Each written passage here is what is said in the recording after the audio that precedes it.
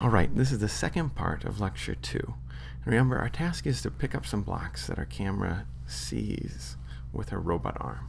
So the first thing that we've done is we figured out how do we figure out what is our objects and what is our background. We did that by thresholding and we found an optimal way to pick that threshold value. Now we need to figure out, well, which pixels are grouped together.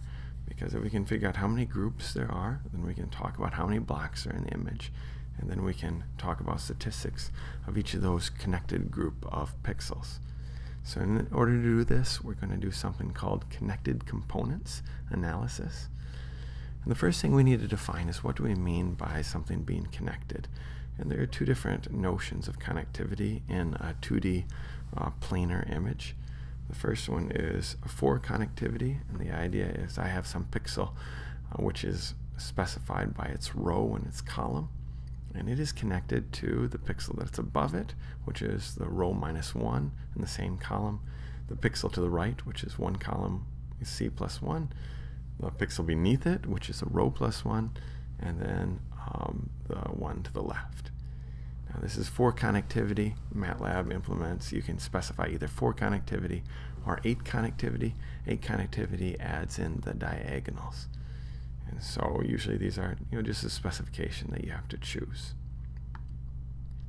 And we say that a connected component is a set of pixels, and we're going to call that the set S, such that if you pick any two pixels, for instance, let's say that you pick P and you pick uh, P prime, and they're both in S. Well, this is a, they are part of the same connected component if there's a four connected path between them and this path is contained in S. So what do I mean by a four-connected path? It means that we can walk from P to P prime without ever leaving S, where every step we take is inside S and is following this four connectivity rule. And so here P and P prime are connected in the same connected component. And so you know, the first step is you're figuring out you know, we have these connected components. We'd like to identify them, and we'd also like to label them to give them a unique label. So here we've labeled the top left one 1, then 2, and 3 for three different connected components. These images are taken from uh, MATLAB's description, which I've given you a link to in the notes, so you can try that out. Um, and then usually at the end of that process, then you want to assign a, a pseudo color to each of your images. That way when you display it on the screen, each of these uh, items that we're looking at are, are, very distinct. And so the process that we use uh, in the book, there's many ways to do this. And the process in the book is a, a two-step uh, process which does two raster scans. A raster scan, we start uh, at the top a left and we just like you're reading a book you go left to right then you go to the next line left to right and the next line left to right. And what we do is we move along there. Uh, we simply uh, iterate through our pixels and so we until we find a pixel that is an object. Mm -hmm. and so we start in this top left and we move over to the right there are no object pixels in here, so we bump down to the next level. We come over and we detect uh, a point that is an object. And so we assign that, we look at our list of how many objects that we discovered so far. It says that we've found none so far, so we assign this to be a, a 1. And then we move to the next step, uh, and we see this is also an object, so we check to its left and above it, and we see, oh, we've already detected one. Uh, and so we're going to assign this one the same value that we seat uh, um, of the pixel that we've already seen. So we'll assign it the minimum of our left or, or above 1. So this will also be 1. Move to the next one, it's going to be 1. And then we have no more objects. We go to our next line. We come here. This one is an object, so we compare it to above it and to the left of it. And we pick the minimum that is an object, so that'll be 1 as well. This one, both the left and the above 1 are 1, so 1 and 1. And then we go to the fourth line and the one above it is 1. So we'll assign these all to be 1s. And this proceeds. Now we go to the next line, there's no objects.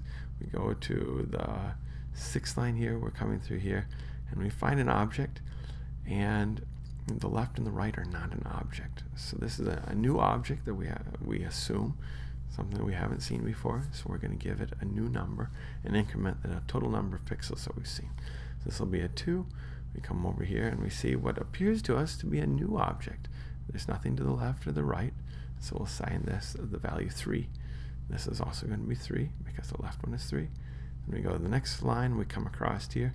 This first pixel that we hit, we compare and we pick the minimum of its left and its right that is an object. So this is also going to be 2. We come over here and this pixel, the one above it, is a 3, so we'll set it to be 3. This one is a 3 because the left and above are 3. Then we go on the next line. We come through here. This is again going to be a 2. Uh, this one will be a 2. And this one will be a 2. Now we send this one to be a 2 as well, a 2. But when we hit here, this is a, this left is a 2, and the one above it is a 3. And so what we're going to have to build is something we call an equivalence array. And the equivalence array tells us that the 2 and the 3 are the same value. And so we're going to continue through here, giving it the minimum value. So this will be a 2. We go to the next line. Pop down here. This one, left and above it, there is no pixel. So what's that? This will be 4, 4, 4. Now we hit this pixel.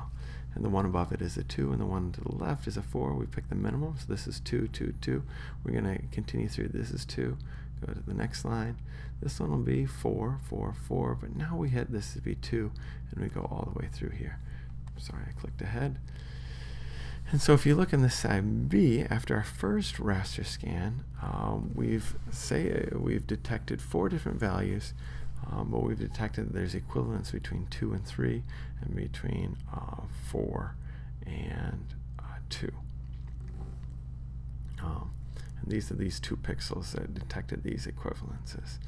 And so then we've done one pass through our image and we've identified the connected components, but we've subdivided it too much.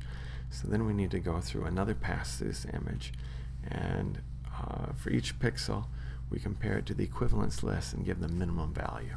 So ones are all equivalent to ones, but when you come over here, the twos are equivalent to twos, the threes are equivalent to twos, and two is smaller than three, and four is smaller than, uh, four is larger than two and three, so it's they're all assigned to be twos. And so at the end of the second pass, we've assigned everything a unique label if they're in a separate connected component. And that finishes the connected component analysis. Um, all we do next is if we want, uh, we can assign these label values of very different colors so that it's easy to differentiate